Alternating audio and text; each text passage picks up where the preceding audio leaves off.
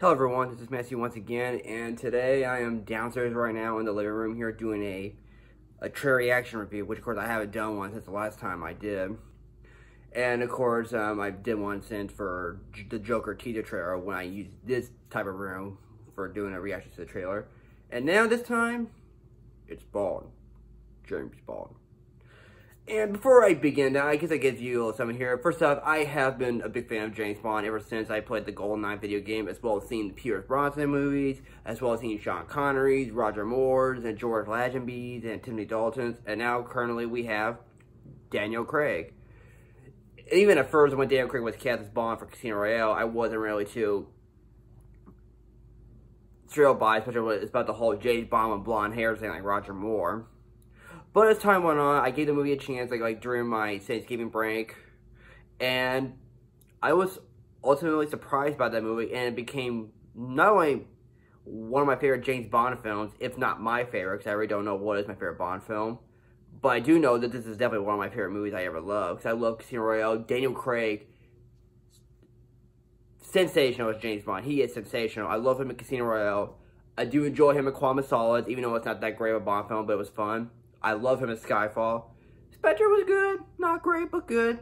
And now we have No Time to Die, which this will be the final time he overplayed James Bond. So, let's see how this trailer does to see if this film could really serve the conclusion for Daniel Craig as 007. So, got the remote here, and I need to get the volume turned up. Right about 44, okay hopefully that's loud enough. Um, actually, no, let me just get up to like 50. There we go. Hopefully that's loud enough here. And just let you know, Sony and MGM or Universal, whoever is watching this video, I do not own the rights to this trailer. This is just me doing it for fun. And I'm not showing any footage whatsoever. So please uh, don't take my video down for copyright reasons. So here I go. In three, two, one, pressing play.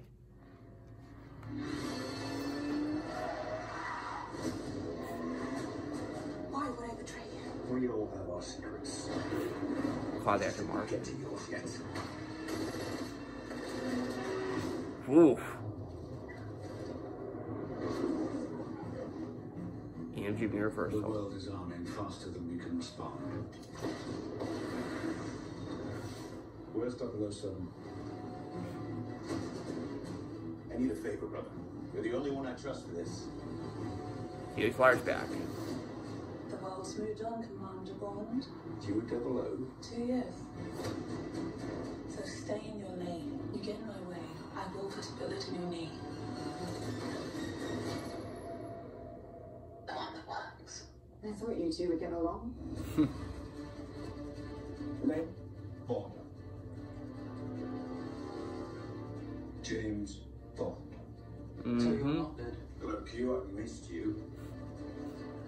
valuable asset this country has.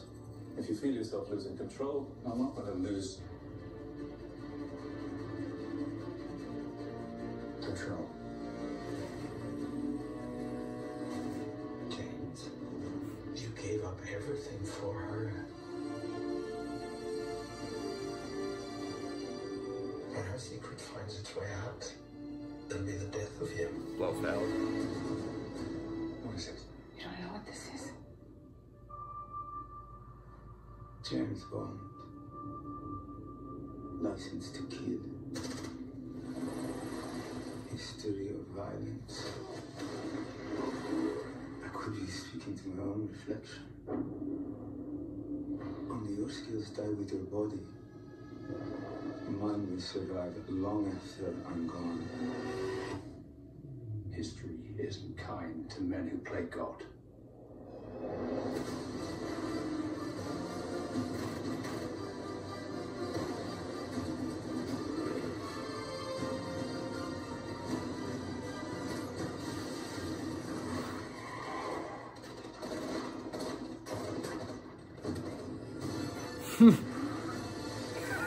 Nice.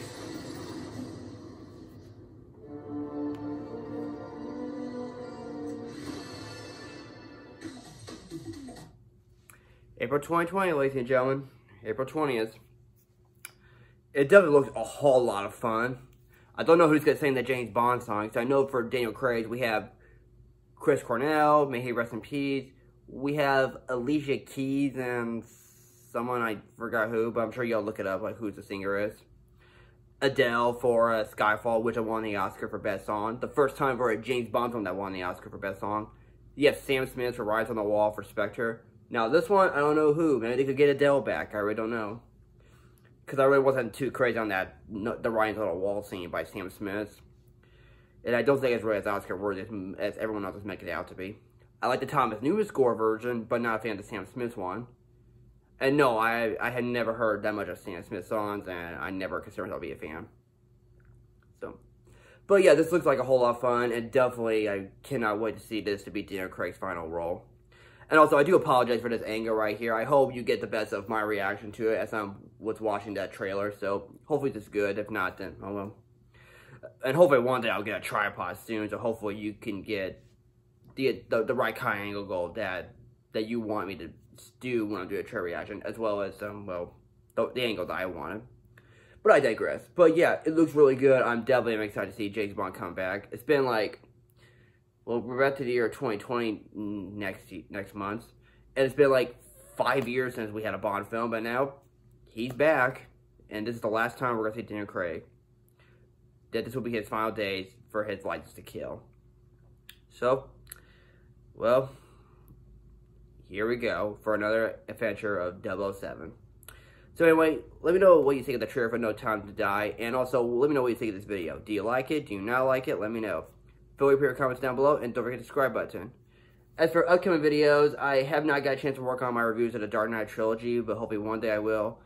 And I might review maybe some Christmas movies, but don't expect it to be that many. So I'll just review probably a handful or such. So anyway, once again, Feel free to put your comments down below, and don't forget the subscribe button. Thank you for watching, take care, and I will see you guys later. Bye-bye.